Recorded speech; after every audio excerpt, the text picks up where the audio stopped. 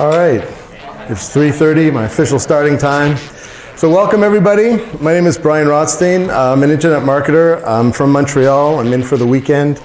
Uh, hopefully by the end of the session we'll have a better understanding of what's going on with SEO and, the, and um, uh, I came all this way just to make sure that everybody was, you know, up to date with what's going on. Um, before I fully get started, though, I'd like to know how many people, just show of hands, how many people in this room have uh, are attending their first WordCamp? Show of hands. Wow, amazing, amazing. All right, and how many people are returning? Wow, so it's like 50-50. That's amazing. Um, well, it's almost the end of the day. I'd like to give a round of applause to the organizers and volunteers. Everyone, I mean, it's been really good, really educational. And uh, I think that um, you know, putting on events like this keeps the community strong. And uh, if you're going to tweet at all, try to use hashtag WP Life. It's a community talk. It's based on a community talk I gave last year. And uh, I think that keeping the community is strong is really important, especially with all the big changes in Gutenberg. Um, a lot of changes coming with WordPress. And, uh, um, you know, we all have to help each other with this. So, current trends in SEO for businesses and bloggers. My talk today uh, is about SEO, but I haven't really been talking about it for quite a while. And the reason is SEO was actually stable for a few years.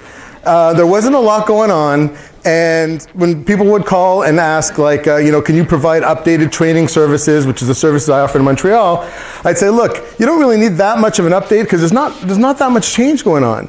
Uh, and the last couple of years, all of a sudden, things went from almost a plateau to like just taking off. There's been like exponential growth in SEO and the way we conceptualize and think about SEO. So I want you to understand that like this talk is not necessarily tactical. I mean, I do give some tactics, but it's more like conceptual. I want you to understand what's going on, what kind of thinking you should have when you're approaching uh, an SEO plan. So it's kind of like meant as a, an eye opener. Now, uh, is Google thinking about you? Are the rankings thinking about you? Yes, Google is thinking about you. Absolutely. Um, let's face it, the people in Google are geniuses. They've come up with better and better ways to get you the answers that you're looking for for, all, for, the, for your different search queries.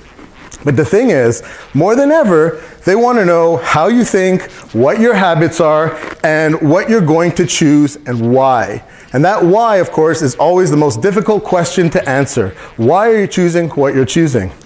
So our story begins with consumer behavior in 2018. Okay, now, when I mean consumers, I'm not just talking about people buying products, I'm also talking about the people who are consuming your content, whether it's written, audio, video form, what have you. So, what, what is consumer behavior like online? Well, we're certainly very inquisitive. Like, I don't know what she's researching, but I can tell you that people are researching more things than ever before.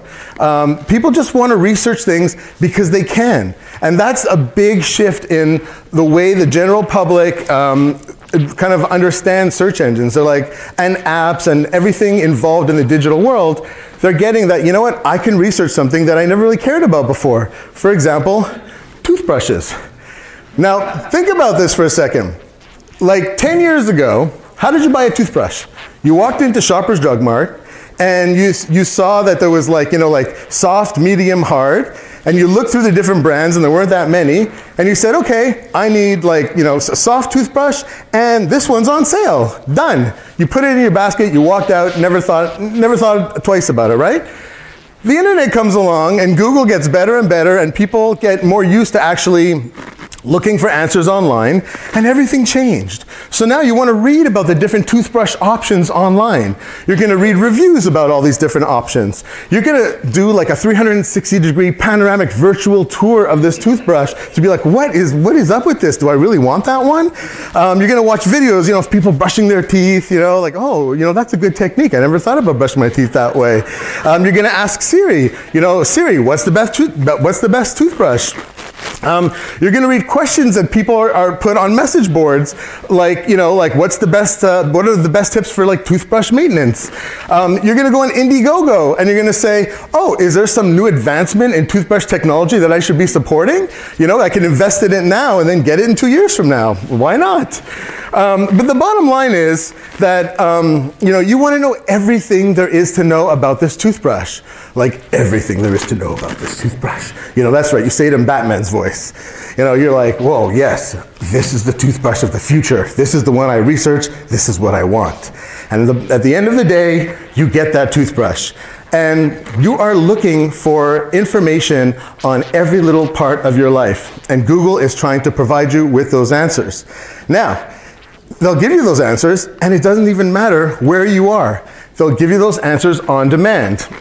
And that's really key. You want that information, Google is ready to provide you with that, with that information. I mean, look at this guy. He couldn't wait to ask Siri for an article on uh, the top 10 signs that you're drowning.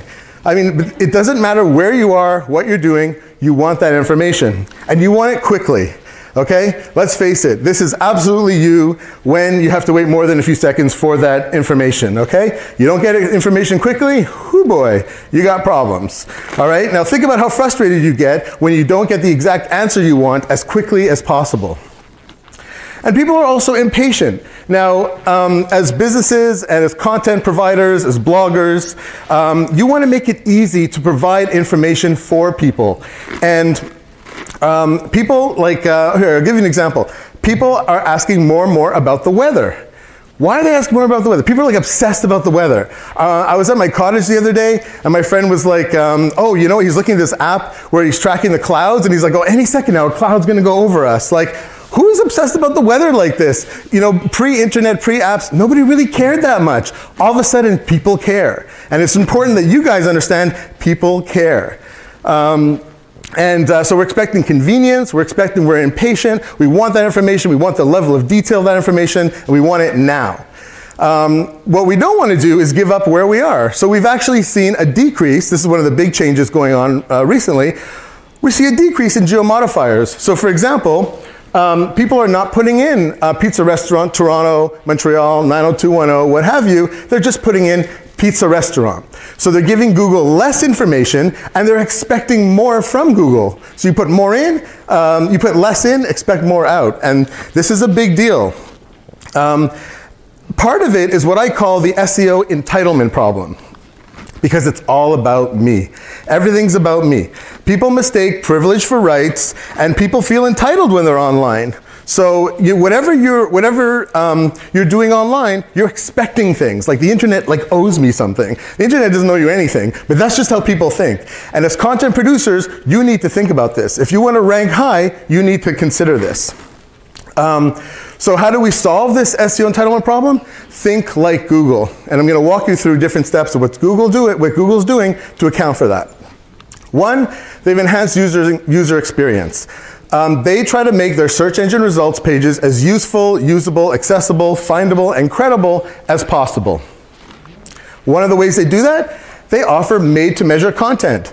They tailor it, they personalize it, they make it so that whoever is searching at whatever time those people are getting exactly what they want.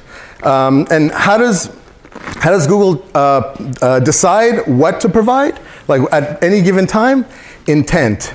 It's all about intent. All right? What is somebody really looking for? Whether they're talking to their phones or typing something into, their, uh, into the search engine, what are they looking for? Um, because Google wants to answer that eternal question is the best place to hide a dead body really the second page of Google search engine results pages? And the truth is, it is. It's a great place to hide a dead body because very few people are actually going to the second page at this point. A few years ago, when I was giving SEO talks, I was saying, don't worry if you're on page four, it's all good. Then it was, don't worry if you're on page three, don't worry if you're on page two, people will still find you. Actually, Google's gotten so good they don't, you don't, like most people aren't even going to the second page anymore. It doesn't matter. So I'm going to walk you through a few different uh, styles of search engine results pages and explain to you kind of like a, a brief history br bringing you to where we are today. All right, so here's kind of like your standard uh, Google search engine results page. This is what we've, we've come to expect. Um, you know, we've got sponsored results at the top. Just so you know, um, so now it says here Google Ads. It used to be Google AdWords, Google AdSense. They've actually changed that officially. They, Google officially calls it Google Ads at this point, which is what everyone was calling it anyways. Um, you've got your local pack SEO, um, and then you do, you know, your standard organic SEO results. All right, so everybody in this room is familiar with this, right? This has been going on for years. Nothing new here. Um, here, I search for uh, Lady Gaga, and you get your old school blended results, you know, some photos, a news story, uh, video. Here's our classic shopping results. Uh, I search for buy a blender, you get some blenders at the top, and so on. All right, this is pretty, pretty standard stuff. Um, but then things changed. Things changed a lot in the last few years. Um, so much so that we have to consider what I call the Google SERP conversion point. Again, this isn't an official term. This is just in-house. We tend to come up with a lot of terms to help help like so I can help my team uh, and help my clients understand like what's going on. Um, and so um, what I mean when I'm referring to Google and conversion is actually not this. Some people think it is. It's actually not. Um, although I'm thinking, you know, maybe I should convert to PDF. That could be interesting. Could be an interesting lifestyle choice. Um, but um, the reality is, uh, this is actually a real result, by the way. You can try this, try this at home. Um, the reality is, I went to Google and I typed in Star Wars, and this is what I got. All right, so part of the screen is cut off, but um, the point is, look at all this variation. Look at this variety. Um, because we've seen exponential growth in Google SERP conversion points. And what do I mean by that? Every time there's like something you can click on, that's a conversion point. So here, if you, you see a top news story, whether you see um, you know, links over here with ratings. And the interesting thing is, with Star Wars in particular, like this side box goes way down. There's so much information, which means if you're doing anything Star Wars related, well, aside from the fact that there's tons of competition, which we can, we can all you know, acknowledge, um, there's so much going on. There's so much, there's so many opportunities for you to actually present content in a way that can appear on this page and become a Google SERP conversion point. So my, my kind of view of this is um, basically it's where intent meets discovery. So the intent is the person searching for information, and the discovery is Google allowing for people to discover things that they want um, when they want it and how they want it and where they want it. So that kind of merging is, you know, brings on like the sweet spot. So um, Google's thinking about, you know, what's the intent of the, of the person searching. Uh, you as a content provider, creator, programmer, what have you, you want to make it easy for people to discover it. And you can do that by making it easy for Google to discover your content and then, you know, hopefully uh, reach the, the sweet spot. Now, you as a publisher really have to consider this um, because if you don't make your presence easily found and you don't make it easy for people to convert from someone who sees your, your link you know, on, on a page like this uh, to someone who actually clicks through to your website, you could have problems. Um, let's see. Okay, now, super important. Don't be so sure that the number one position is all you're after. All right, for years, um, I've been doing SEO since 1997, um, over two decades, and you know the first decade, decade and a half was all about you want to be number one. If you're not number one, you're losing uh, a lot of traffic and potential sales and so on. Not anymore. I don't, I don't agree with that idea anymore. There's so many more options out there. For example, we've got knowledge panels. So of course, I'm sure everyone in the room is familiar with knowledge panels. We've seen these over the last few years. So Google says, hey, we're going to take this information. If someone's looking for information on Audis, they're going to, you know, they've, they've aggregated all this info. You want, you want to know about Domino's Pizza? Here's all this info. You want to know about Lady Gaga? Here's all this info. Great. So it's pretty common, right? This is, these are called knowledge panels that are based on the knowledge graph. So what is the knowledge graph? Basically, it's common factual information. So Google said, hey, everybody's providing these great results. We're, we're, we're pulling all these videos and, and, websites and so on. It's been great, uh, but let's go a step further because there seems to be a lot of commonalities. A lot of websites seem to talk about the same factual info. Where did this factual info come from? Well, it came from places like Wikipedia. So they said, hey, you know what? Let's just take the information from Wikipedia and stick it right on our search engine results page, and people don't even have to click through anymore. And that's exactly what happened. In fact, when all these guys started appearing a few years ago, Wikipedia immediately saw a decrease in click throughs. Um, into their site. And it makes sense because really people were just after some basic information and Google was basically diverting people's attention onto their search engine results page instead of pages like Wikipedia. Now, uh, the knowledge graph is also, uh, it's used by Google Assistant frequently, um, and uh, it actually picks up sentiment. To some extent, it picks up sentiment. So, Here's a location of Domino's Pizza. It was rated, you know, about two and a half stars. So Google kind of has this sense, or at least had this sense of um, what is uh, good and what is bad. So two and a half stars is in the middle, and that's it. So it's a bit of sentiment understanding there. So that was kind of like the next level of evolution with where Google went um, in presenting information and understanding what's out there. The thing is, one big criticism is it doesn't cite its sources. So it's important to understand that not all this, not all this information is necessarily accurate because there's no sources involved there. But generally speaking, it's pretty good. Um, now, one problem we see is the day I searched for Daily Planet reporter Lois Lane. I was very curious to find out all kinds of information about her. So I typed Lois Lane into Google, and what happens? Well, the first thing I got was Wikipedia. Surprise, surprise, of course. Um, gives me Wikipedia information. I'm thinking, okay, this is great. Now, um, I also found that there was some uh, information here that said, oh, supporting character of Superman and Superboy. Well, of course, Lois Lane, Super, uh, you know, Superman's uh, girlfriend. Uh, you know, the publisher of the comic books that she comes from, DC Comics, partnerships, team affiliations, and so on. Now, the interesting thing is, this information was not programmed by anybody. It's Google that figured it out. Google read the page and said, you know what? Somebody out there is probably looking for this information, and it displayed it to make the Google, to make the uh, search engine results page seem more accessible and more user friendly to people. Now, what's even more interesting to me is uh, if you want to know Lois Lane's weight, Apparently she's 136 pounds. But here's the thing. According to somebody else, she's 175 pounds. So I don't know. But these are actual results. Now I'm confused. Is she 136? Is she 175? If this is information a Comic Geek needs to know, they need to know. But the bottom line is, the key factor here is, um, there could be mistakes in this information. So it's not, it's not 100% accurate. Um, but Google is actively looking to index information that you guys create as content creators, and it wants to uh, provide the most useful information with a great user experience. So as you're creating your pages, consider factors like this, um, because Google is, is likely to, to pick up on it. Um, which brings me to the most important part of this entire talk, um, which is that Google said, you know what? All this common factual information, the knowledge graph is wonderful and all, but we need to really start thinking about things and think about that intent even more. So they created um, their uh, artificial intelligence uh, plan or program called RankBrain. Now, RankBrain is all you're going to hear about for the next few years. Ar arguably, RankBrain is the single most powerful artificial intelligence in the world. And what it is, is basically, it's a plan that looks at all your searches, works with all the, the standard Google algorithms, and takes it a step further, and actually it teaches itself.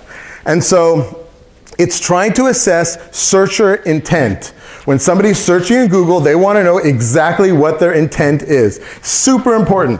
Because back in the day, we saw keywords, and we're like, okay, yeah, everyone's going after keywords, keywords, keywords. All you heard about was keywords. We need Excel spreadsheets of keywords. Clients called, I need keywords. Potential clients called, said, oh, I need to know about keywords, keywords, keywords. All I heard was keywords. Forget it. It's not just about keywords anymore.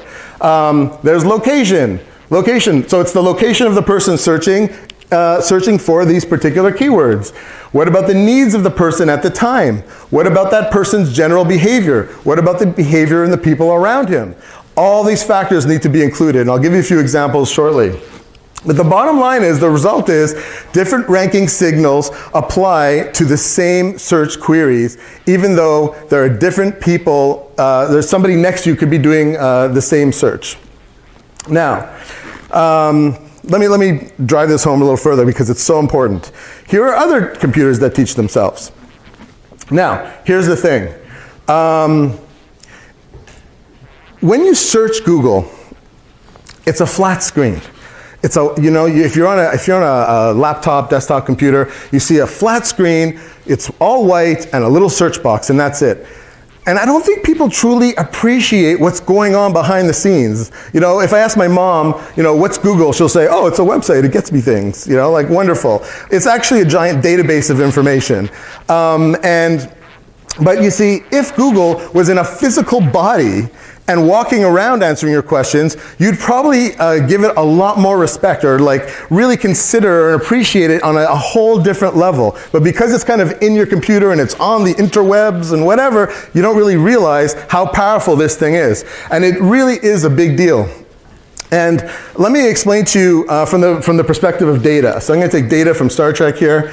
Um, don't worry if you've never seen Star Trek, um, even though you probably should be watching it. I don't know what you're doing with your life. But okay, data from Star Trek Next Generation. Now, so he's actually one of the, the senior people on board, uh, one of the senior officers, and uh, he's an android. So he's basically like, you know, he's a walking RankBrain. You can go up to him, talk to him, interact with him, and, and so on. But when other people, let's say humans and aliens living together in this wonderful world of Star Trek, are on board the ship, so they, they live on a, a spaceship called the Enterprise. They could go to the spaceship and say, Computer, what is the answer to this question? And ask them whatever question they want. The computer just gives them what, like, can give them like a hundred different answers for a question. They have, there's no filtering mechanism. So instead, what they do is they go to data and they say, hey bud, what's going on? I need the answer to such and such a question. And then data will ask the computer, the ship's computer, and say, okay, this is the, this is the, the question that, you know, my friend here has. I need you to filter it out and search within these parameters. So data acts as kind of like the filtering me mechanism because data understands the intent of the question, which is super important. So the ship's computer is just like Google giving you factual information, great, but RankBrain is more like data where he's, he's really understanding what you want to get out of that. And that's a really important point because uh, it, RankBrain is teaching itself and it's, it's growing and thinking about what do people want at any given time and where they are too. So you're not just sitting at home or sitting in your office. It's, you know, you're on the run. You could be on vacation asking something uh, to your phone and trying to get a result. It's trying to account for all of these things. Um, so some of the considerations uh, so it's looking at like the newness of the topic, the content itself, um, you know, like uh, user engagement, you know, the click-through rates, uh, dwell time, how long people are actually staying on the page. But even more importantly, they're looking at general user behavior.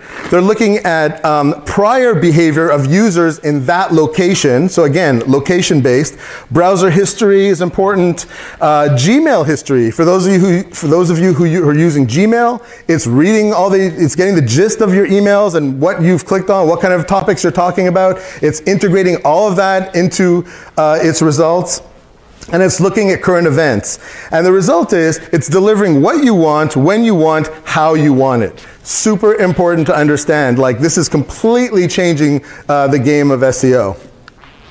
So a couple of examples. Uh, well, yeah, I'll give you a few examples. So one, somebody goes to Google and searches for tornadoes, and they'll get, let's say, a freshness-based result. So the freshness-based result would be you'd probably get samples of uh, news snippets because there was a tornado nearby recently. So okay, that's great. You're getting what you want, right? You want, you know, tornadoes happened. You want to know what's happening with tornadoes nearby, or maybe even, maybe even in your own town. But what happens if there's no, uh, there haven't been any tornadoes in your town? You type in tornadoes. Well, possible alternatives could be that, you know, Google says, hey, maybe you're interested in the movie Twister. Maybe you're looking for a documentary on tornadoes. Maybe you want a list of shelters for the next time a tornado actually does hit your town. So it's actually accounting for uh, what's going on, what's going on in your life, what's going on in, with, with respect to your location, to what other people are searching for. Um, Similarly, and this is actually maybe more close to home, for those of you who bake and cook at home, suppose you go to Google and you type in pizza ingredients, and you get a list of, of um, articles or results that actually give you pizza ingredients and they show you how to make a pizza. Great. The next night you decide you suck at making pizzas and you want to order a pizza. So you go back to Google and you type in pizza. And what happens? Half the results might be pizza ingredients and half of them might be uh, restaurants that are providing pizza delivery services. Okay, fair enough. Google's trying to figure out, well, are you still looking for ingredients or you're looking to order out at this point? But your neighbor, the person living right next door to you in the apartment next door to you in the house next door to you could do the exact same search on the exact same time and they'll get 100% results of pizza restaurants.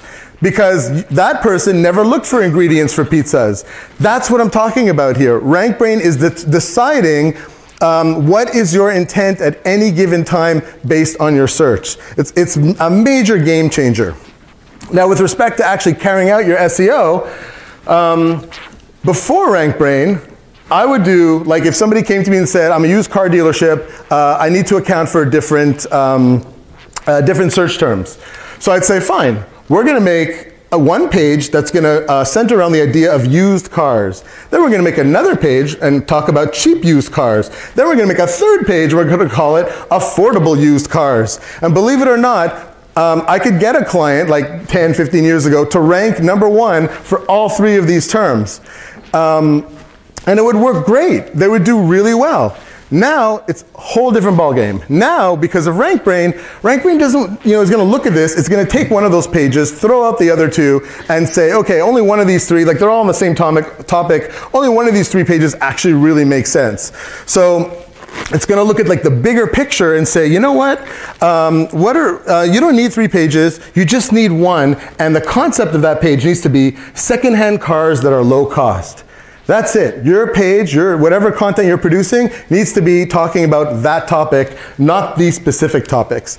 Now, even even taking to the next level, because um, Google's trying to determine searcher intent, you actually might want to consider creating a page for secondhand race cars, for example, which is some uh, like a certain format of race car, and then talk about that as well. But it would have to be kind of like divergent uh, content, like no, nothing, nothing uh, duplicating because context has become super important. Um, and uh, here, let me talk about context a bit. If I ask somebody in this room to just take off their clothes right now, everyone's gonna look at me and a little chuckle and be like, yeah, this guy's crazy. Um, no, I'm not. I'm just, I'm just trying to make a point here. I'm not asking anybody to take their clothes off. But, because you all think it's like kind of like strange, right? It's because of the context, right? We're at a conference. Who just spontaneously take their clothes off? Nobody. But, you go to a new doctor and you walk into that doctor's office, and the doctor says, Take your clothes off. What's the first thing you do? You take your clothes off. You, you knew the doctor for a minute. Doctor says, Take your clothes off. You do it. It's all about context, right? That's what she said jokes. All about context. All right, here's the thing. Social media, huge aspect is all about context. So when this, when this photo came out, and a whole series of photos came out, where there were firefighters standing in, in front of burning buildings, people went crazy. They went nuts because they're like, what is this? Why aren't they rescuing the people inside? Look at that little kitten in the window. Why aren't they saving that kitten? What's going on here? And people are like, I can't believe firefighters. They suck. They're terrible. Oh my God. You know, of course, until your house burns down, then, you know, then it's a whole different ballgame. But, um, from the perspective of somebody just coming in out of context, they're like, uh, yeah, okay, these guys are kind of jerks. But who here knows what's really going on? Exactly. Who said that? Nice one. All right. This is a training photo. They're just proud. These are like um, youngins are saying, yeah, we're, you know, this is just a training, um, training exercise. But out of context, if you don't know what this is, you might find this kind of, kind of confusing. Now, the, the, the crazy part is Google RankBrain actually understands that this is a training photo. Um, depending on the type of uh, search terms that you look for, it'll actually give you many photos like this because it understands just by reading the photo and the content of the photo what is going on here.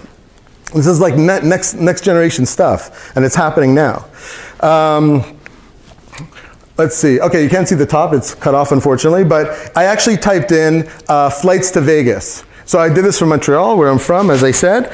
Uh, and I didn't even type Montreal flights to Vegas. I just put flights to Vegas, and it automatically knew, hey, this guy's in Montreal, and started giving me all of these results. Um, now, so that's already one, one key aspect. But something else is that um, this whole box, this sponsored box, is here giving me like all these um, um affiliate links or what have you um, for, for uh, flights from Montreal.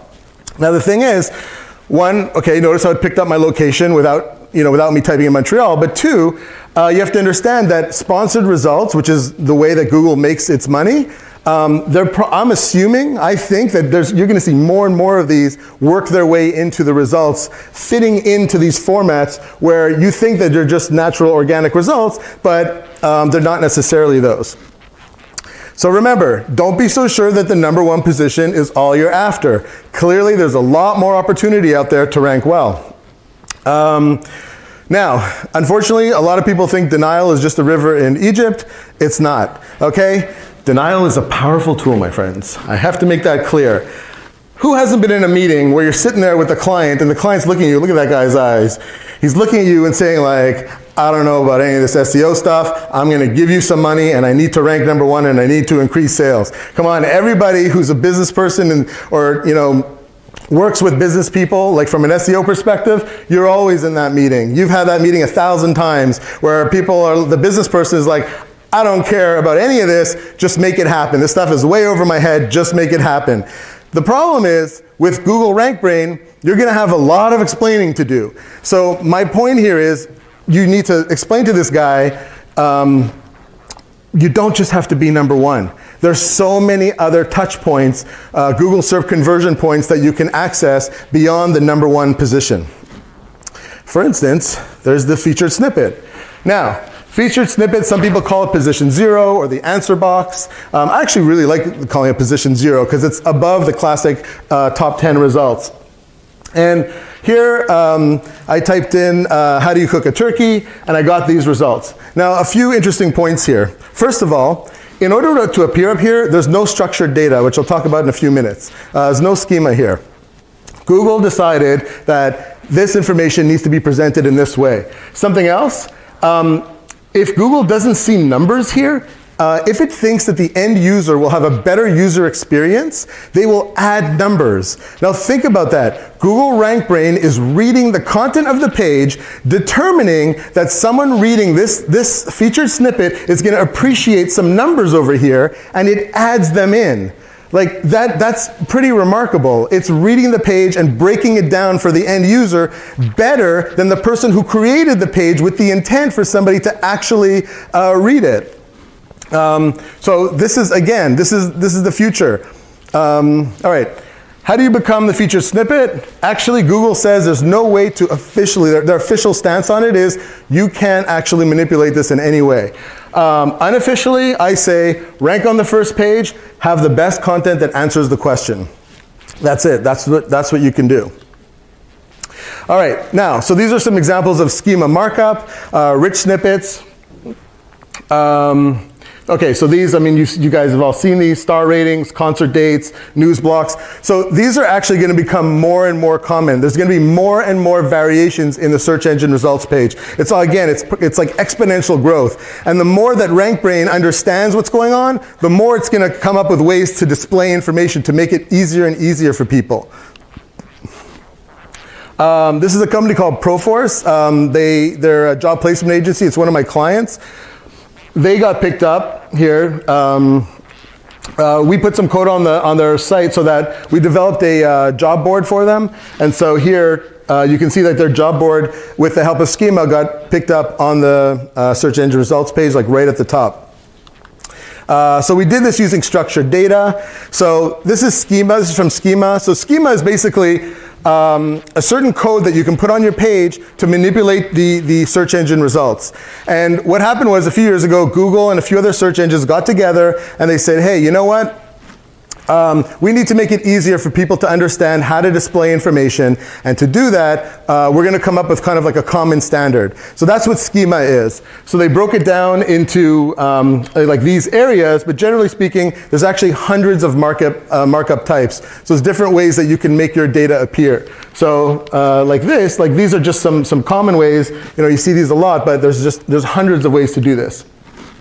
Uh, really important here, what we're finding is that websites with rich snippets actually rank higher. So it's up to you to figure out how to break down your information and deliver it to Google, which will in turn deliver it to the end users um, in the, the simplest way and most relevant way.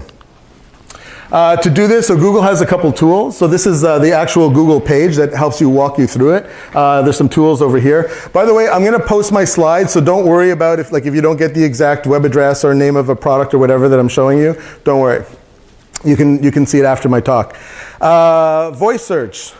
All right. The next big question uh, is the because voice search is so important, uh, is SEO going to go down? You know, that's what I get that question all the time. Is SEO is not as important anymore? Well, here's the thing. People love talking to their phones. So you have to be able to create content that is actually going to appear uh, in whatever format of voice uh, interaction uh, that uh, people have. There's a ton of competition. Oh, you can't really see it. It says competition for voice search attention. Uh, obviously, there's tons of competition here. Uh, Apple and Siri, Alexa and Amazon, and so on. So all these different products are out there to listen to what you have to say. You put them in your house, uh, and they're listening to you all day long. I mean, I, I think that if it was up to Google, they would just give everybody uh, a Google Home. Like the thing is, if they just if they just said, okay, we're going to give out you know a few hundred million Google Homes, people be losing their minds. Like, oh no, there's something suspect here. I don't know, I don't want this thing. But instead, what they do is they make deals with banks, and they're like, oh well, if you open up a new bank account, you get a free Google Home, and you feel like, oh wow, I deserve that. You know, I I, I started I started a new account. Do, I, when do I get it? You know, like they want it as fast as possible, right?